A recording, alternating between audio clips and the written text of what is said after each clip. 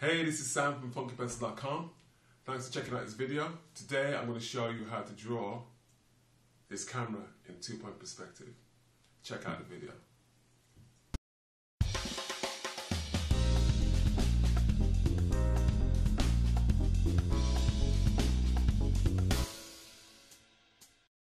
Okay, let's get straight to it. Oh, wait a minute. Coffee. Oh yeah, I needed that. Okay, so now we're going to be looking at this uh, camera in two-point perspective. And this is the thing here.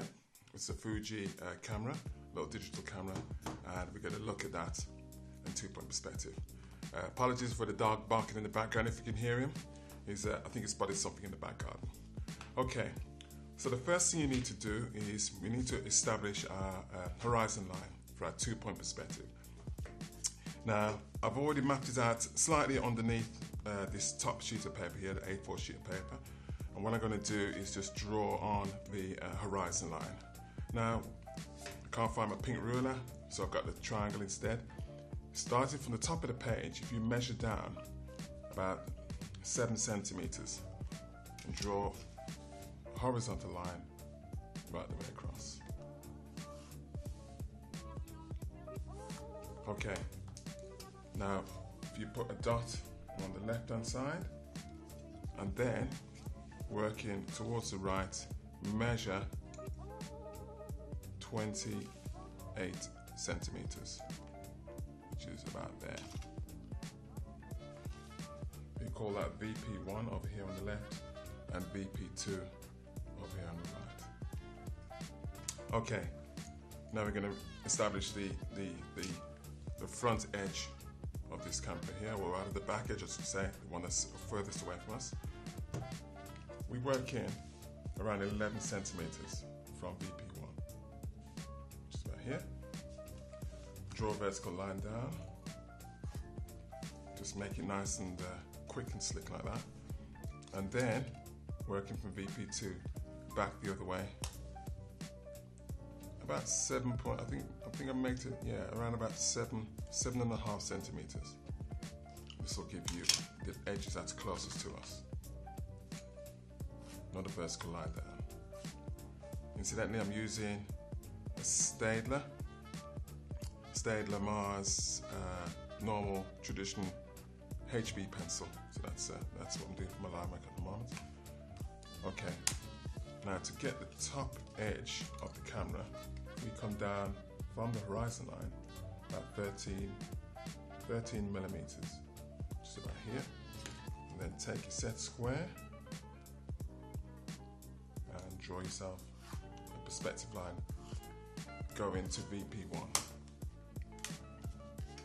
Okay, measure down from that first line about 48 millimeters.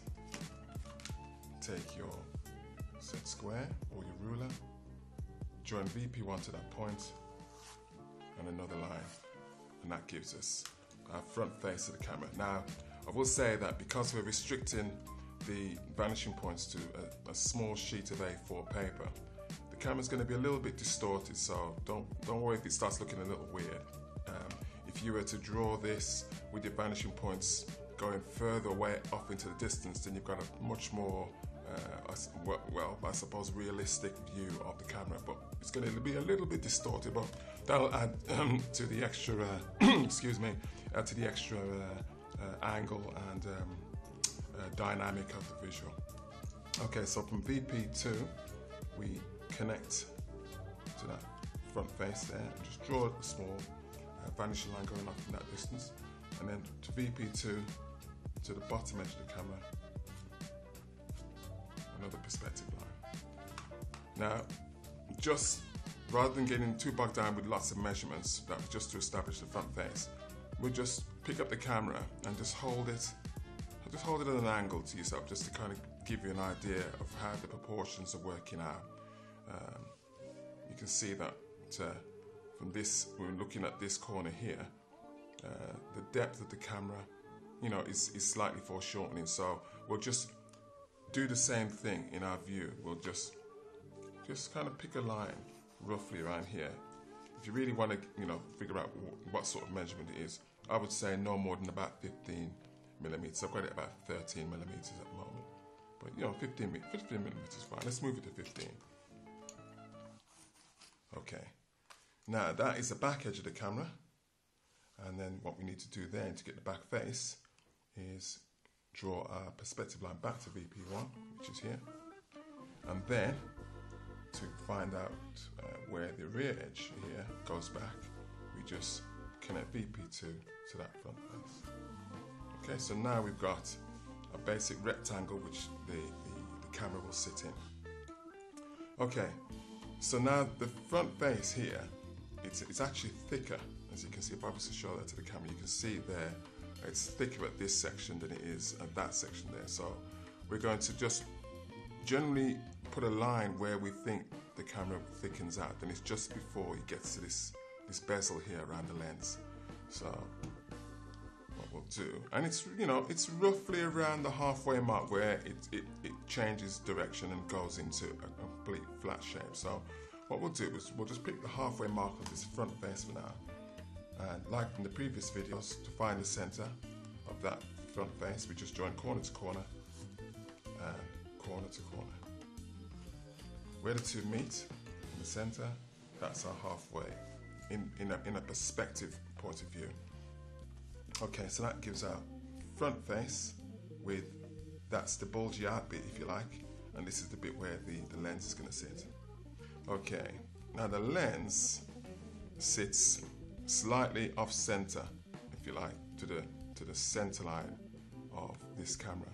It's actually slightly down from here, so we'll do the same thing accordingly. So rather than drawing a perspective line to that center point there, we'll drop down slightly to give a center line for that circle. Perspective line going up to VP1. And then, we, well, I think the best way we, we, we, we can figure out how to draw this circle here is just to put it inside a shape. And I, I reckon a, a square would fit around that, that circle of the bezel. So what we'll do here, we just kind of guesstimate where that square will be. We're going to be drawing the square in this area here. So we'll draw that, that line here, which is this face of the camera, or this edge of the camera here. And then the, this, this particular edge of the camera will draw a line here. Okay. Now, if we just kind of guesstimate where that square, the shape of that square, put a line at the top. Again, going back to VP1, and this is the shape that our square is forming. Okay, now to, to we need to just draw a bit of a circle in, inside there, so it's going to look a little bit distorted. Just bear that in mind. But again, to find the center, corner to corner,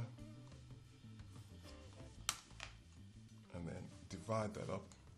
So now we have a square, a square, a square, a square, and then we just need to do a smooth radius which joins up within that circle there, within that square box.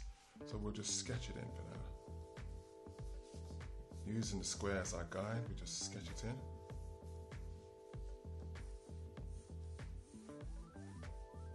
too much if it starts to look a little bit weird in shape. Remember that uh, perspective view is, is distorting somewhat.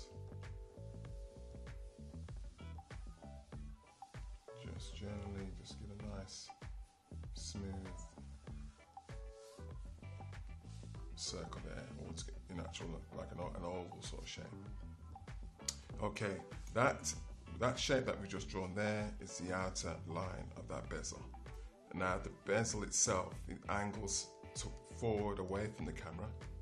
So we'll get uh, to a smaller circle. So we're going to do the same thing again, only this time we're going to offset the circle slightly. So we'll just move the center of the circle over this way. And we're going to draw another circle. Perspective line from the center. Find that center for the next circle. It's probably going to get a little bit complicated here, which is why I like to overlay a lot. It stops uh, your eyes getting too confused with too many lines on the paper. So uh, we'll just guesstimate where this other circle is. So there's there's the front edge of the inner circle, outer circle, I should say. There's the oh, let's start again. That that's the back edge. If we're looking at it from that circle, which is here, and then this edge here, we'll we'll put around here, and then again we'll just draw in, looking at the camera as a bit of a guide, draw in our next circle. And just slightly dense, densify, that's a word, um, the actual outer edge there.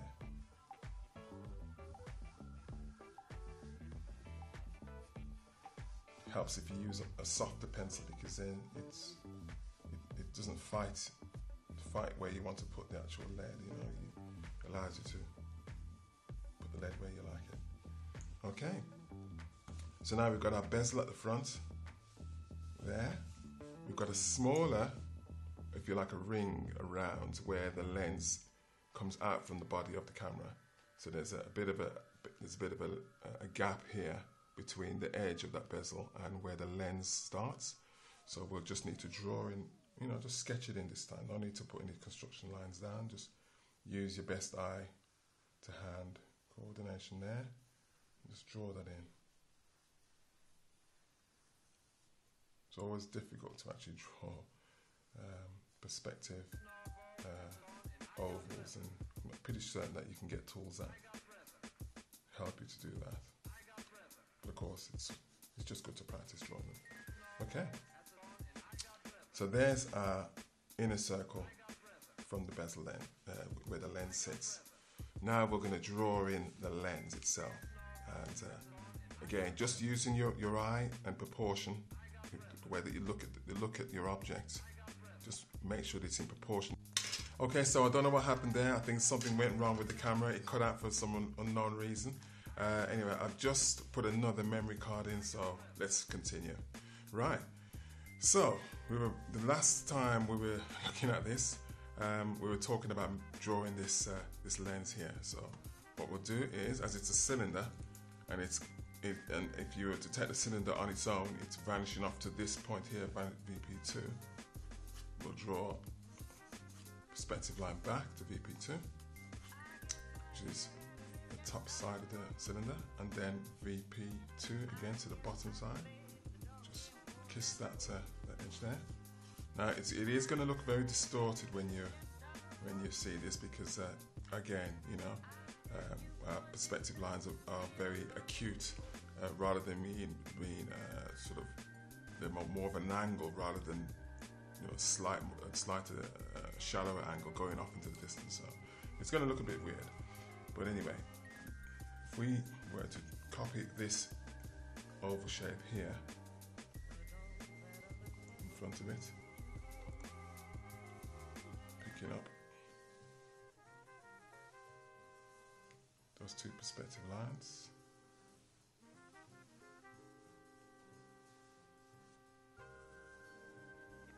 that's the shape that we end up with.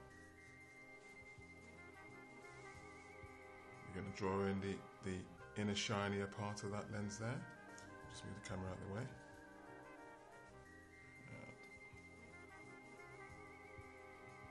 slightly thicker as your, your eye and slightly narrower as it moves away from you.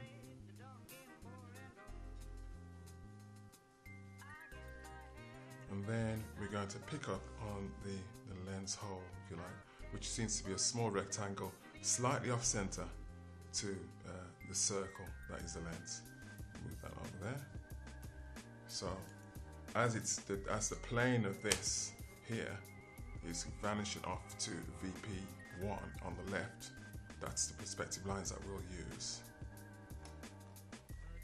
So that's the middle of that circle or that oval. We want to come down just slightly from there. That'll be the center of our of our lens hole, you just draw in a kind of a rectangle shape, just kind of copying what you're seeing looking at the shape of the camera. Just make sure everything's dropping in proportion. Okay. We've got a couple of radiuses on the actual lens there, or actually chamfers. Yeah, we'll just draw those in. Because what we're going to do here after this is overlay uh, with a fresh sheet of paper and just pick up on the lines that we need. There's a bit of a thickness to the material. What we can do here as well is just darken in to help us uh, figure out where the thickness is. Okay, that's great. So basically we have inner circle and then we've got the outer circle which is here and then the square for the lens hole. We've got the sides of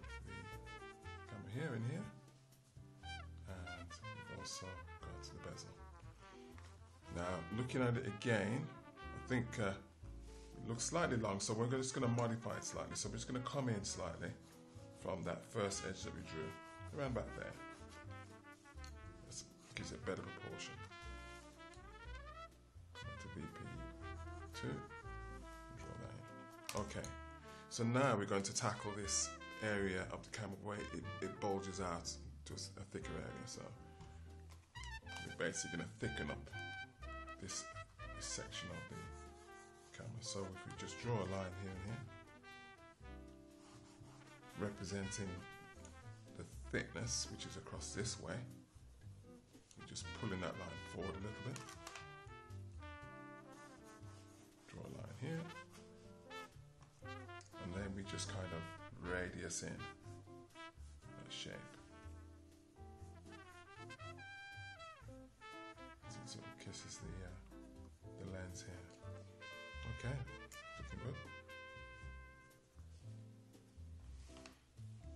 Now we've got some corner radiuses going on here, which we again we just draft those in freehand for now.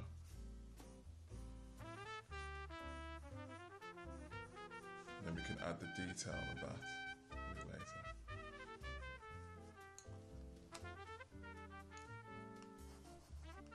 Line on the bottom edge there.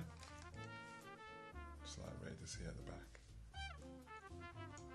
We've also got this chrome edge detail here, which if you're looking at it, it's, it's divided in quite a few little areas here. So we're just going to pick up the essence of it just to begin with.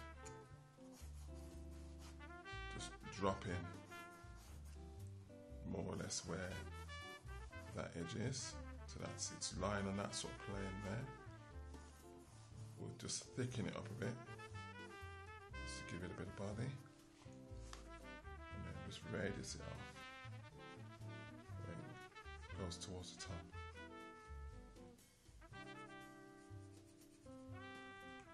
Okay, it's going straight across the top here, and there's a bit of a detail. Just put it to the camera, straight across the top. A bit of a detail where you've got the, the, the shutter and the on and off button here. So we're just gonna draw that in. Going back to VP1 of course. And then we'll just, where that's looking at the camera, bulges out slightly here. There is another one here. The circle there. And it comes out that way. Okay. Now there is a slight thickness on the shutter button. So we'll just indicate that in that sort of fashion. Okay. There, we there, not only does it radius and or, or, or bulge out this way, but there's also radiuses happening in this direction as well as that direction. So we'll just, for now, we'll just, we'll just, to pick up where that radius is, we'll just draw a line slightly below the top of the camera. And also it's on the bottom face as well. So you won't really see it, but you can draw a line, just kind of tell you yourself, remind yourself that that's where the camera's curving. Okay. Now, we've also got the flash here, which is lies on this plane, which is the narrow part of the camera, but it also the cutout sort of blends into the, the fatter part of the camera. So, just looking at the camera, we just uh, drawing a line here. It's slight towards the top. And also towards the that part of the camera here, bezel. And then it shapes out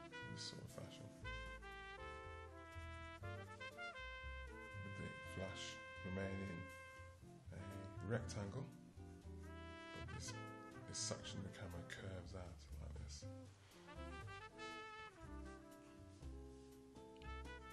A small detail here. Alright. So we're looking good. Now the, the actual text, Fujifilm, is more or less on the center line or the horizontal center line of the camera. So what we'll do is we'll just draw in a, a rectangle perspective lines to contain it. I don't know about you, but I hate drawing letters in perspective, so this is going to be a good one. Okay, that's great. Just check check over it again. We've got another couple of radius lines here as it moves towards the back of the camera, and also it narrows down slightly as well.